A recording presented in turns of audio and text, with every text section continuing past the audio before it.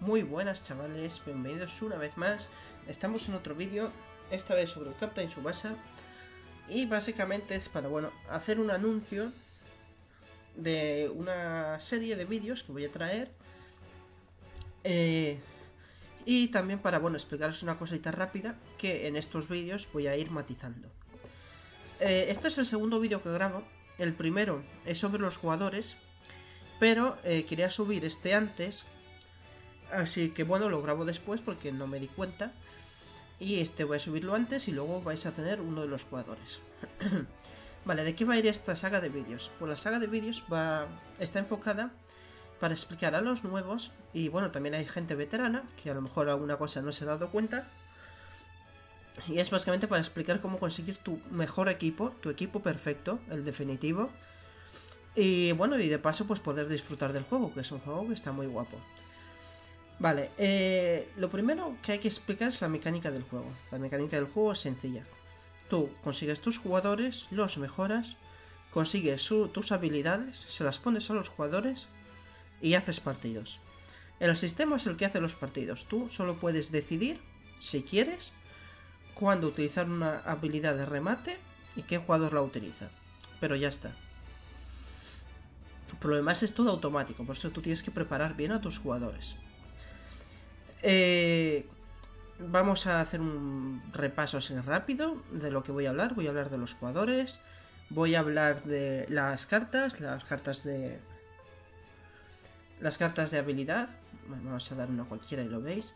Las de habilidad, las de apoyo. Y de paso por los materiales van a estar metidos. También voy a hablar sobre la parte de liga, sobre los modos, historias y demás. Y tampoco hay mucho más que decir.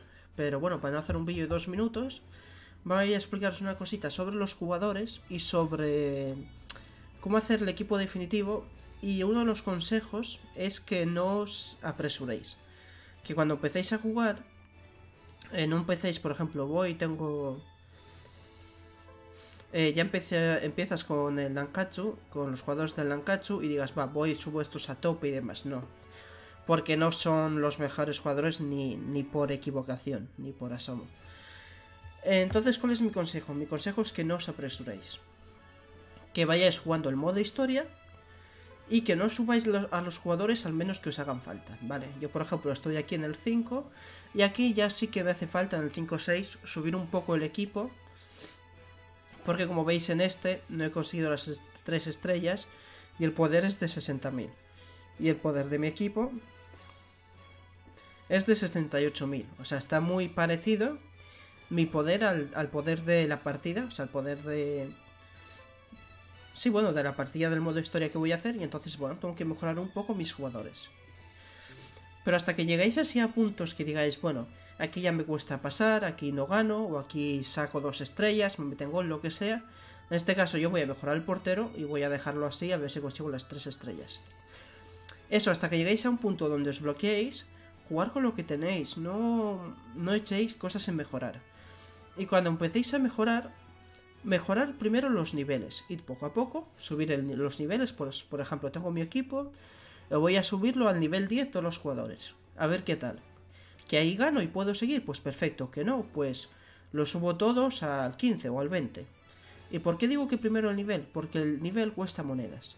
Y las monedas se consiguen muy, muy, muy fácil, ¿vale? Se consigue muy, muy, muy fácil. Y hasta el nivel 30 o así nos va a costar no casi nada de monedas subir a los jugadores. Aparte el nivel también aumenta jugando, pero bueno. De hecho yo he llegado al nivel que tienen ahora simplemente de jugar sin mejorarlos. Eh, entonces lo primero que yo, si yo soy vosotros, lo primero que subiría sería el nivel hasta el 30 o así. 40, 50 si tienes monedas que subiendo solo el nivel no pasas, pues ya vas aumentando las cosas. Vale, ¿qué jugadores subiría? Pues hombre, eh, subiría los que mejores que tengan, que para eso hay un vídeo, que es el que voy a subir a continuación explicando las cosas. Y subiría los jugadores que de base tienen más de 7500 y los que tengan dos habilidades. Por ejemplo, este nada. Este tiene una, pero no lo subiría de momento, o sea, lo subiría ahora para hacer el modo historia, pero no es una carta que yo diga voy a subirla a tope. Y básicamente como no tengo ninguno para enseñaros de dos habilidades, pues... Pero ahora, por ejemplo, si tuviera que subir uno, el que subiría sería este, que es el que tiene eh, una habilidad y es el más fuerte de todos actualmente. Si no me equivoco, creo que tengo algún delantero por aquí. No, este es dos estrellas, nada. Y por supuesto que tengan tres estrellas o más, eso vamos. Eh, y que eso, si de base vamos a tirar un poco. A ver si encuentro alguno que os puedo enseñar. Pero creo que ya no tengo para tirar. Sé que tengo para tirar ahí con monedas. Vale, tengo aquí para tirar esto. Bueno, voy a tirar ahí las de 1500 para que veáis. Así tirando las de 1500 hay suerte y subir un poco el volumen. Eh, las de 1500, ¿dónde estaban? Aquí. Vamos a tirar estas de 1500 y a ver si hay suerte.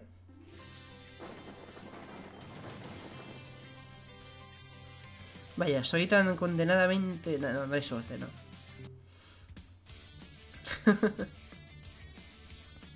bueno, os voy a enseñar... Eh... Ah, vale, es que no os puedo enseñar el otro equipo, mi equipo principal, porque no lo tengo. Y hasta que lo abra, esto si no tarda demasiado. Bueno, pero básicamente habéis entendido lo que voy. En el vídeo de, de los jugadores os explico cómo funcionan los poderes y todo eso. Pues yo de aquí, si quisiera mejorar, ya os digo, mejoraría este. Eh, yo, por ejemplo, tengo mucho ponerlos por valoración y subirlos todos, intentar ponerlos a un mismo nivel. En este caso, pues al 15. Los pongo al 15. A ver si esto carga. Y como veis, ya ha pasado uh, delante. Y así voy mejorando unos cuantos al 15, sobre todo por posiciones, delanteros. También paso mucho de los que tengan dos estrellas, de verdad, pero bueno.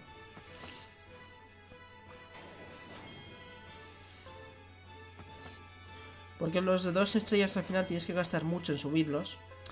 Y tampoco son los mejores, de hecho no valen casi para nada. Este veis, el poder base 3800 no me valdría para nada, 3400 no me valdría para nada. Así que bueno, tampoco me preocupo, paso de ellos un poco. Si aquí tuviera uno de 3 estrellas, sí que lo subiría al nivel 15 porque va a ser mejor que estos dos. Pero si no, paso de aquí, lo único que me interesa es este. Y estos tengo que subirlos porque si no, no tendría jugadores para el equipo más que nada. Entonces, bueno, vamos a subir a este. ¿Cuál era el otro que utilizaba? Utilizo este también, vamos a subirlo. Y también el grado de entrenamiento. Eh, si no vais a utilizar ese jugador aparte de ahora para empezar, subirlo solo uno. Vale, ahora os lo voy a enseñar. Eh, vale, perfecto. Pues por ejemplo, yo voy a coger a mi centrocampista que he dicho que me gustaba, que de momento es el que mejor tengo.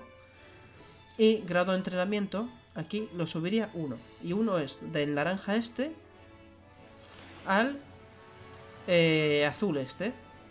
Lo subo uno y ya está. ¿Por qué no lo subo más? Eh, porque me costaría, más cuando empiezas, te cuesta demasiado. O sea, te cuesta emplear demasiado tiempo y demasiado y muchos recursos para un jugador que cuando que no lo vas a utilizar, porque en tu equipo definitivo este jugador no lo vas a utilizar. Entonces, pues subo así un grado simplemente para que pueda avanzar en la historia y pueda desbloquear las cosas. Y básicamente así es como tenéis que formar vuestro equipo, el primer equipo, ¿vale? O sea, para poder ir avanzando en la historia. Pues ahora, por ejemplo, mi equipo ha pasado de 68, creo que tenía, o 66, a 71. También aumentarlo un grado de entrenamiento sirve para poder utilizar una segunda habilidad. Eh, yo no los tengo subidos mucho porque tampoco tengo muchas habilidades para poner, entonces bueno. En este caso, pues un regate ya lo tengo, juego con pies, juego de pies elegantes, así que puedo meterle, pues por ejemplo, un, un rebate. Porque también tengo pases, pero prefiero meterle un remate. Pues ahora ya tengo uno, dos, tres, cuatro remates, si no me equivoco. ¿Veis? Ya tengo cuatro remates. Al portero es un jugador muy importante para subir. Y es un jugador al que yo, que vosotros le daré importancia. Lógicamente, ese es importante. Y este, aunque sea alguien como este, por ejemplo, que no lo voy a utilizar en mi equipo definitivo, pero como es el mejor que tengo hasta ahora, pues voy a subirlo un grado de entrenamiento. Como veis, solo está en 9200, no ha llegado ni siquiera a 10000. Y simplemente lo subo para poder ponerle una segunda técnica de parada. O sea, una segunda super técnica aquí. Para que así pues pueda parar más tiros. Porque este va a poder parar dos, o va a poder utilizarla dos veces. Y este va a poder utilizarla otras dos veces. Y ahora pues le ha aumentado de dos posibilidades a cuatro posibilidades de paro. Y nada, estos... Los que tengan tres estrellas a lo mejor los subo un poco más y el resto paso de ellos. Y con el poder que tengo ahora, 7300, pues ya podría avanzar un poco más en la historia. Y eh, ya podría hacer este. Porque ahora ya saco 2300, 20.000, 23.000 puntos de diferencia. ¿Vale? 23. Tengo 70 sí, 73. Saco 23.000 puntos de diferencia, o sea que básicamente voy a ganarlo y no me van a meter gol.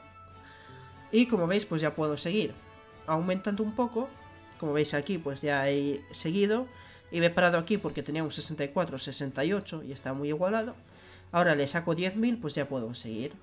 Y siguiendo, pues puedo día a día voy desbloqueando jugadores y voy mejorando el equipo. Y no tengo más que decir. No malgastéis vuestros recursos, esperar los buenos jugadores, 7500, hacer los eventos. Los jugadores de eventos son gratis. Entonces ahí pues tenéis una buena baza, que a lo mejor algunos sirve para el equipo.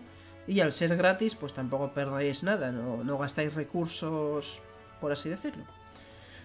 Y nada, espero que os gusten los siguientes vídeos que voy a subir, este también. Nos vemos en el siguiente vídeo, que va a ser hablando sobre los jugadores. Voy a repetir algunas de las cosas que he dicho ahora. Y espero que os sean útiles, ya sabéis, darle me gusta, compartirlos, todas esas cosas. Y hasta la vista.